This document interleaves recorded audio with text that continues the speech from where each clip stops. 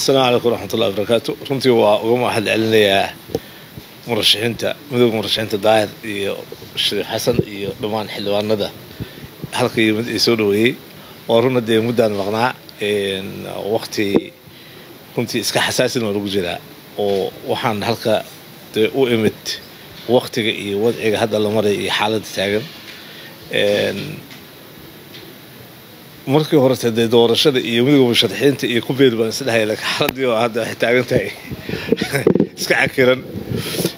Runtii waxaa hadda socdaa waxay salka ku hayaan khaladaadkeeda waa habraacii agost dalka halka heshiiska lagu gaaray.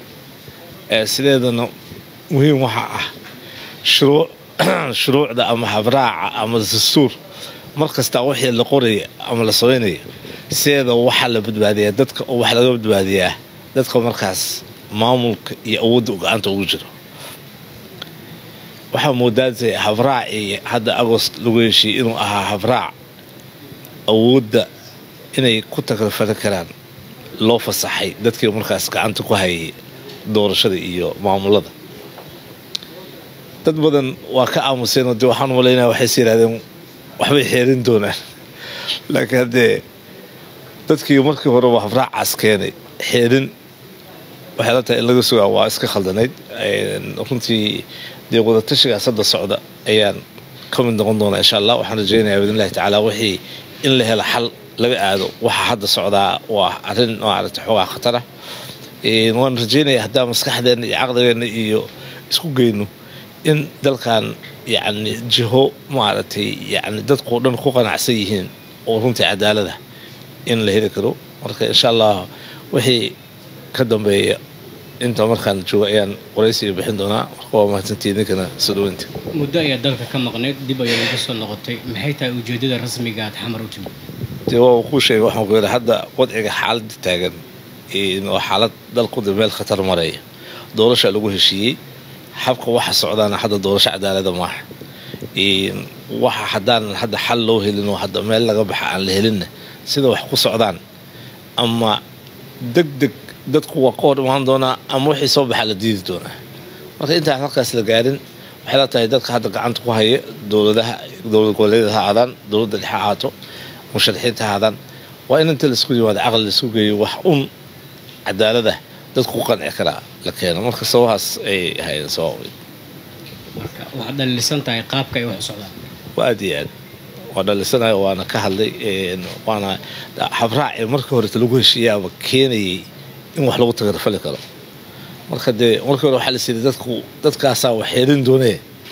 Ha loo kaadiyo laakiin dee waxaa moodaa hadda si wax u socdaan inay yihiin wax xoogaa runtii keeni karta caqabado berito aanan maaragtay waxa soo baxa dadku wada ogolaan. Noomana fiicin. Dad hadda socdaan nahay muddo meel badan meel fog wax laga keenay.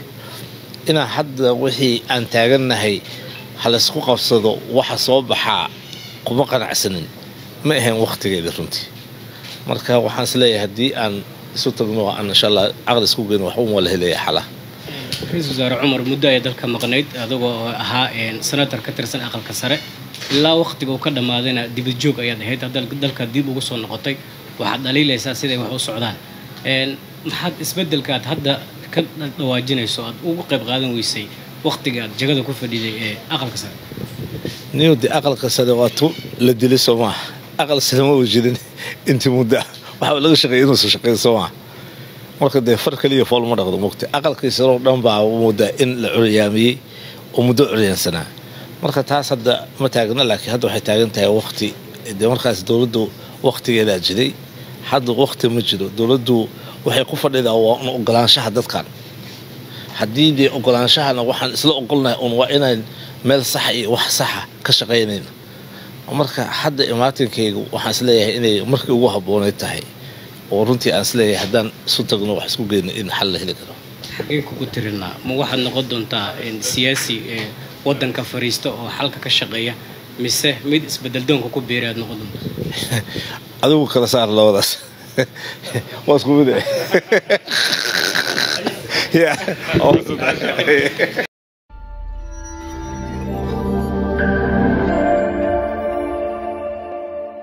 bishaaro macmil adeega akoonto akoon ee bangiga salaam. Waxaa lagu soo kordhiyey in bangiyada ay bahwadaagta yihiin bangiga salaam sida salaam somaali bank daarasalaam bank iyo salaam african bank oo ku kala yaalla koonfurta iyo waqooyiga dalka iyo dalka jabuuti. Aad u wareejin kartid ama aad dhigan kartid lacagaha ku yaalla bangiga salaam si balaash ah. Haddaba si aa u fahamtay qaabka loo adeegsado akoonto akoon adigoo isticmaalaya teleefoonkaaga golis fadlan raac tallaabooyinka soo socda. Ugu horayn ka dooro sahalkaaga golis lambar sideed oo ah salaam bank dooro lambar shan oo ah akoonto akoon. Geli akoonka lacagta u wareejinaysid ee salaam somaali bank ama darasalaam bank ama salaam african bank. Markii aad gelisid faahfaahinta iyo lacagta waxaa kuu soo dhacaysa lambarka xaqiijinta oo ah o t p number